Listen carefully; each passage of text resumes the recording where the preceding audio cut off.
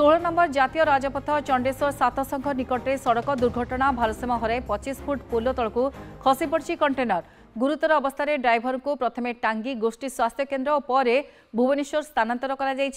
গতকাল রাতে এই দুর্ঘটনা ঘটিছে কন্টেনরটি কলকাতার বিশাখাপাটনা যাওয়া বেড়ে সাতসংঘ নিকটে ভারসাম্য হরাই পোল তলক খসি পড়ে